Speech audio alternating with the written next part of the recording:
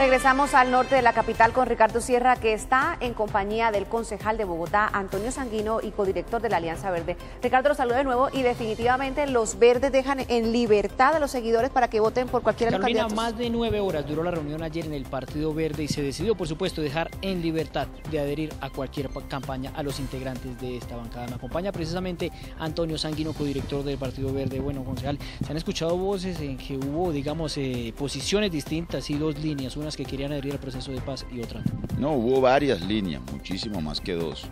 Hay distintas opiniones sobre una coyuntura especialmente difícil como la que atraviesa el país.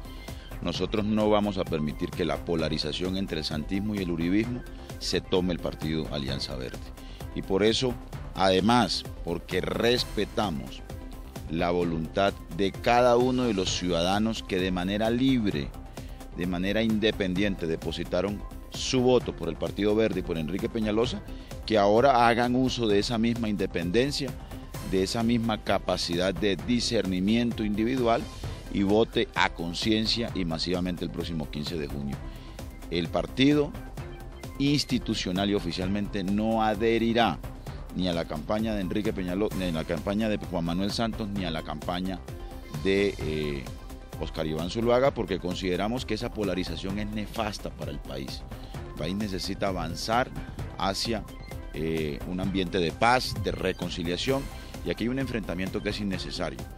Ahora, quienes individualmente quieran eh, optar por uno u otro candidato, pues eh, están en todo su derecho de hacerlo sin comprometer institucionalmente el nombre del Partido Alianza Verde. Director, muchas gracias. Carolina, pues es la información que tenemos en este momento desde el norte de la capital del país. Continúe usted con más noticias. Gracias, Ricardo. Y se llevó a cabo en Fundación el sepelio colectivo de los 33 niños que murieron quemados al interior de un bus.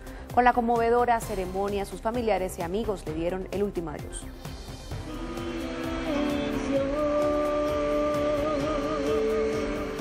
Ayer fue quizás el día más triste en la historia del municipio de Fundación Magdalena.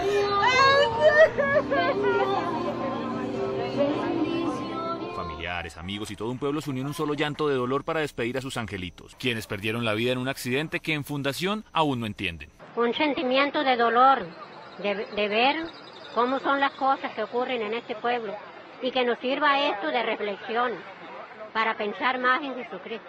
Hoy solo queda la resignación y el profundo dolor de perder a sus seres más queridos, 33 niños y niñas que representaban la inocencia y el futuro de un pueblo. pues que Dios lo lleva a descansar y a la mamá que le dé fuerza y, y, caramba, se nos atranca la, la garganta para uno expresarse hacia ellos. Cientos de globos blancos fueron lanzados al cielo, ese mismo lugar que desde ayer se convirtió en el nuevo hogar de los angelitos de Fundación. En noticias internacionales, en Japón, un buque petrolero explotó, dejando cuatro personas heridas y un trabajador desaparecido que se presume cayó al mar. Cuatro personas gravemente heridas y un desaparecido deja el incendio en un buque petrolero japonés que se encontraba en la costa de Meji. Los organismos de emergencias aún trabajan por controlar el fuego. De ocho personas que iban a bordo, siete fueron rescatadas y una sola persona se encuentra desaparecida, que es el capitán del buque. De los siete heridos, cuatro se encuentran de gravedad. Si este accidente hubiera ocurrido hace unos días, Japón tendría una grave emergencia marítima, ya que el buque Chokomaru, que tiene 998 toneladas, transportaba 20.000 kilolitros de combustible.